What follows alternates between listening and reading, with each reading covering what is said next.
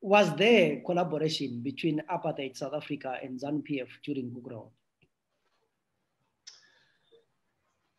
Uh, yes, to the extent that not over not over Gukurahundi, there was no collaboration. I've seen no evidence in that regard. But what was occurring is that the ANC, uh, sorry, Mugabe had promised the South Africans that the ANC would not be allowed to have bases, military bases in Zimbabwe.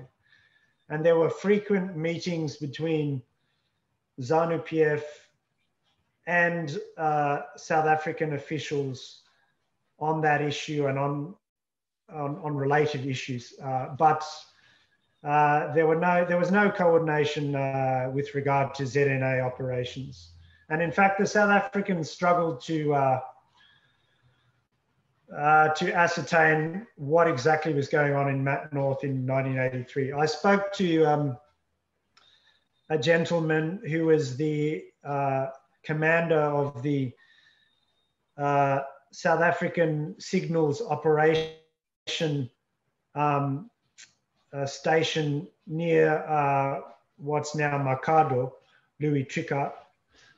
Um, they were intercepting ZNA radio traffic um, in 1983 and, and, and reading a lot of the communications, but because 5 Brigade uh, um, was using a different radio system through the Tanzanians and the Korean uh, Koreans, the South Africans were unable to crack that uh, um, that those communications. And this uh, this commander told me that uh, they didn't know what was going on. They weren't able to intercept those communications and they were uh, very unsure of what was happening. Um, so they were relying on human intelligence through their mission in, uh, in Harare. And uh, those guys were picking up bits and pieces through the CIO and so on. But uh, no, I, have seen no no uh, suggestion at all that there was actual coordination between those two governments.